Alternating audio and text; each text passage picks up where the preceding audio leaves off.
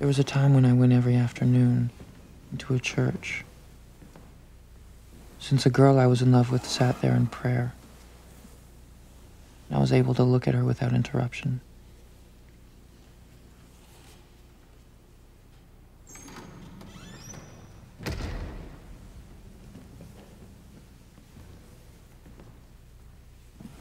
Once, when she had not come, I felt compelled to eye the other supplicants. And I observed a young man stand, walk to the altar, and throw his whole lean length along the floor, clutching his head with both hands and sighing loudly, pump his body repeatedly. Only two old women were in a church. They kept turning their heads sideways to watch. Their awareness of him seemed to please him, for before each of his pious outbursts, he cast his eyes to see if they were looking. This I found unseemly, and I made up my mind to accost him and to ask him why he prayed in such a manner. Yes, I felt irritable because my girl had not come.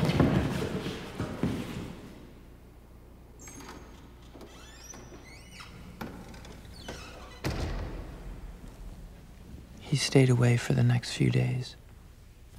My girl was there. She was wearing her black dress with the transparent lace top over the shoulders. The crescent of her undergarment showed under it, gracing the arc of her beautiful neck.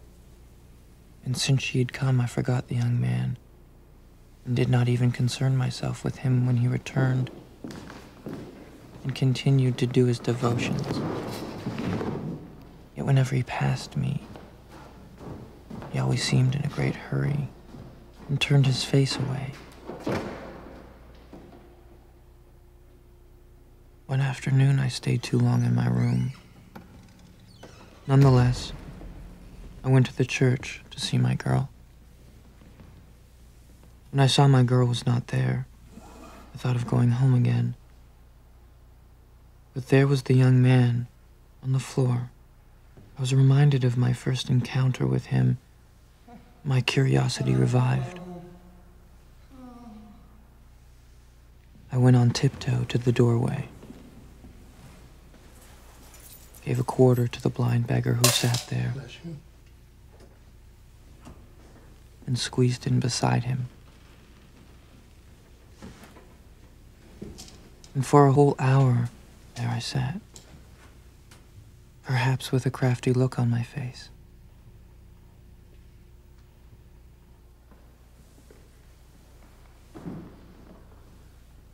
And then he came. He was walking cautiously, testing the ground lightly with his feet before setting them down. I rose up, took three large strides forward, and stood between him and the door. Good afternoon, sir. Sorry? I would like to ask you some questions. Please let me go. If you do not give me an answer, I will begin to yell right here in the church, and everyone will hear. Okay. Please, let's go outside. To my car.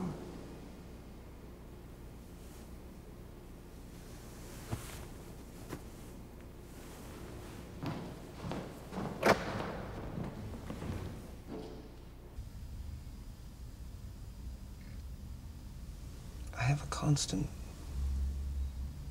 longing to catch a glimpse of things as they might have been before they showed themselves to me.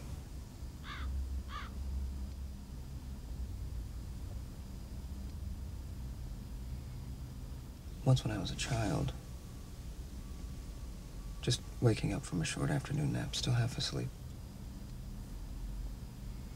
I heard my mother calling down from the balcony in the most natural voice.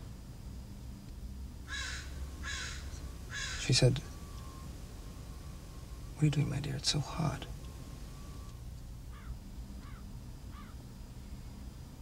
And a woman answered from the garden.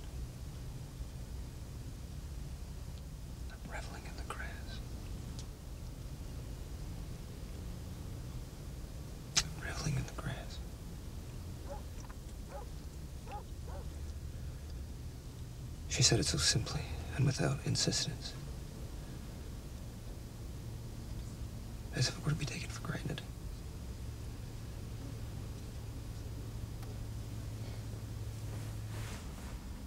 I don't find that incident to be the least bit remarkable. In fact, I don't believe it to be true. I believe you've invented it. Made it up for some special purpose which I can't even fathom. And when I said that, he seemed very delighted. He even remarked on how well dressed I was, and that he particularly liked my shirt and its perfectly ironed collar. Especially like the collar on your shirt. It's very well ironed. I then left,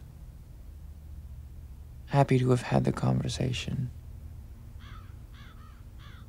but decided never to return to the church again.